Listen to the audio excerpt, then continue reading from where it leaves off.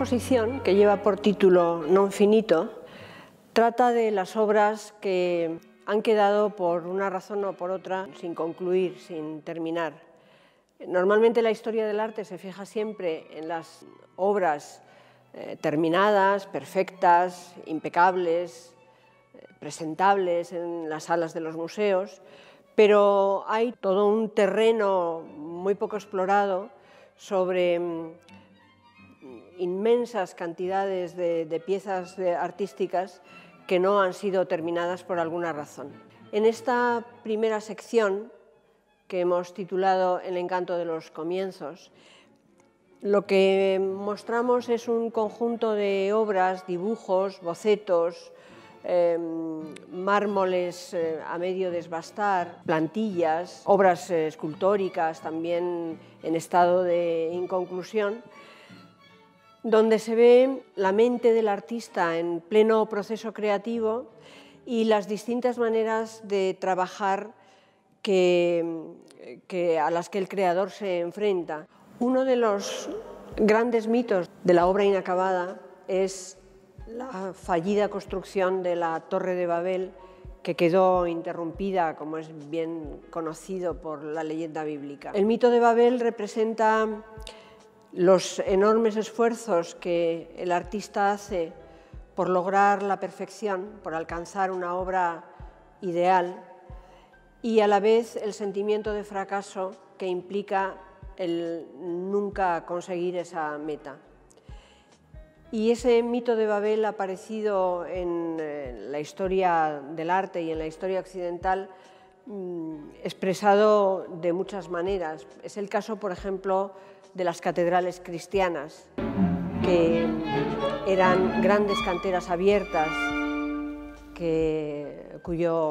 construcción se alargaba durante siglos, que se derrumbaban con frecuencia. Algunas de ellas no han llegado a terminarse nunca, como es el propio caso de la Catedral de Valladolid o la Sagrada Familia de, Barcelona. Pero hay también proyectos modernos, como eh, la iniciativa que trató de llevar a cabo Chillida Eduardo Chillida en la montaña canaria de Tindaya y que no pudo tampoco realizar. Esta sección está dedicada a aquellos creadores, tanto de épocas clásicas como más contemporáneas, que se plantearon la imperfección como, un programa, como una meta, no como un defecto o no como parte de un proceso. Mm, fue una lección que inició Tiziano, y aquí vemos representada en un discípulo suyo, el Greco, que pinta con manchas, con borrones, con, em, unos colores muy em, ácidos eh, y con unos resplandores que no se corresponden con una pintura más detallista, más acabada, em, más, eh, más, en búsqueda de la perfección, más dibujada. Mm, esta, esta, preferencia por la espontaneidad del gesto, por la libertad expresiva, esta defensa de la negligencia, del, eh, del descuido, mm, ganó muchos adeptos entre el público mm, y fue cada vez implantándose como una manera de hacer que se asociaba con la valentía y con la modernidad y con la personalidad del artista que se dejaba ver en ese gesto. Esto fue mm, llevado al máximo por los románticos, fueron los primeros que exaltaron la imperfección eh, y la pusieron en un pedestal, y esto se ve muy bien, por ejemplo, en la obrita pequeña de Eugenio Lucas, pero luego, sobre todo, fue en el siglo XX y en el periodo de las vanguardias, cuando mm, los, talleres de los artistas se llenaron de obras que se quedaban con lo más elemental de la forma, por ejemplo, con el color, con el blanco en este caso, con el plano, en el caso de la obra de Oteiza que tengo a mi lado, con la mancha de color, como en el caso de, Nolde, eh, para precisamente mm, eh, obligar al espectador a hacer ese esfuerzo imaginativo de completar aquello que falta y aceptar este inacabamiento como una forma de belleza eh, casi superior a la de lo acabado.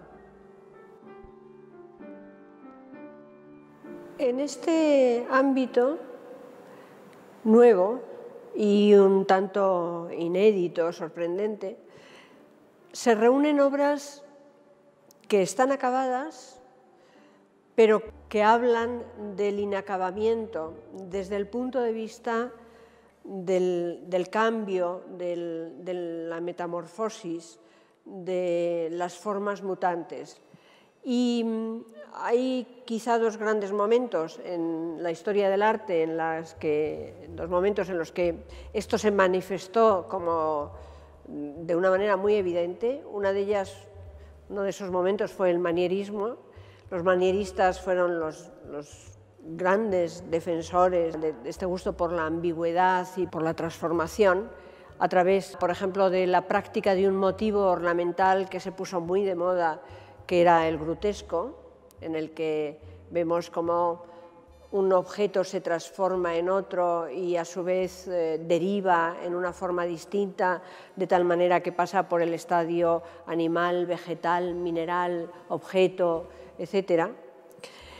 Y el otro gran momento mm, es el de los surrealistas que, mm, y los dadaístas también, que juegan mucho con esta mm, ambivalencia eh, de las cosas que parecen ser algo distinto de lo que son o que a través de técnicas como el collage, en el caso de Dora Maar, o del frottage, en el caso de Max Ernst, o incluso de la propia fotografía, como hace Brassai, nos muestran imágenes que producen una especie de choque mental precisamente por esta combinación de eh, elementos contrarios, de formas extravagantes, de mm, eh, figuras eh, contradictorias.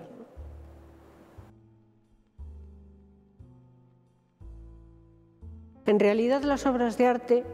todas ellas, vistas en el tiempo, tienen también un, un punto de inacabadas, porque aunque cuando el artista las termina y las deja perfectamente realizadas, la obra luego empieza una segunda vida muy larga, que dura siglos y milenios, y en esa vida va sufriendo todo tipo de accidentes, todo tipo de cambios, también a veces de, catástrofes, de destrucciones,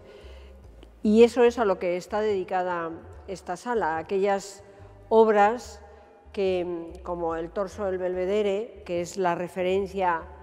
máxima de esta, de esta idea, de este, también de este sentimiento que despierta el hecho de que eh, nos enfrentamos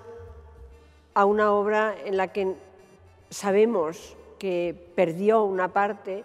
y nos ha quedado un resto como si fuese una reliquia del pasado. Aquí tenemos varias esculturas que han sufrido ese proceso de degradación por el propio paso del tiempo, por el desgaste de la intemperie, por accidentes, por la carcoma, por alguna destrucción violenta, como es el caso de la pieza de Jaén, en el caso de la obra que viene de la Catedral de Ávila, ese deterioro es el deterioro propio de una obra que ha pasado mucho tiempo una obra de piedra que ha pasado mucho tiempo al aire libre y se ha ido desgastando, pero vemos también la calidad estética, la belleza que hay en ese desgaste, la belleza de la, de la pérdida, de la ausencia. Realmente una exposición sobre el tema de lo inacabado mm, no puede prescindir de una noción que aparentemente es contradictoria, pero que es imprescindible, que es la de lo infinito, porque lo infinito es lo inacabado por antonomasia. Así que ese tema que responde a una noción abstracta eh, que, solo, eh, que, no se puede, que no se puede visualizar. Sin embargo, ha dado en la historia del arte mm, muchas posibilidades y ha ofrecido mucho campo de expresión, de una manera indirecta, metafórica, alusiva, pero el interés por representar el cielo interminable, el movimiento perpetuo, los abismos insondables, la repetición, la idea de repetición como un patrón em, típico de lo infinito, mm, la escritura que nunca se acaba. Hay muchas mm, maneras por las cuales esta obsesión eh, por una idea casi incomprensible para, el ser humano se ha materializado. Los paisajes de los Mm, de los grandes pintores holandeses del siglo XVII, por ejemplo, que son los primeros en plantearse una representación de la infinitud, que es un concepto físico que acababa de descubrirse recientemente en su época. Obras como, por ejemplo, la pintura de San Francis, que es un intento de representar el cielo que él veía desde su avioneta durante eh, su periodo en, la Segunda Guerra Mundial como aviador, la caída, el cómo se precipitan los ángeles de un pequeño marfil napolitano hacia un abismo infinito, son algunos ejemplos de esta manera de entender la, eh, la noción de infinito, que concluye con una figura mm, de la matemática,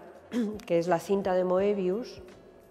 que es esa estructura que todos conocemos, que es una superficie continua eh, sobre la que uno puede estar moviéndose interminablemente eh, sin abandonarla nunca por dentro y por fuera de, su forma, y que es una eh, figura de mucho éxito y de que tiene una componente simbólica que ha sido muy atractiva para los artistas.